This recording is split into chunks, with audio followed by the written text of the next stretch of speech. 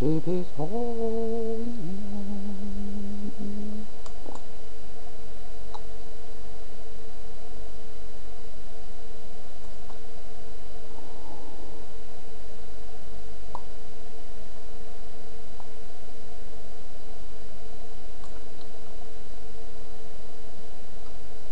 Seems like never before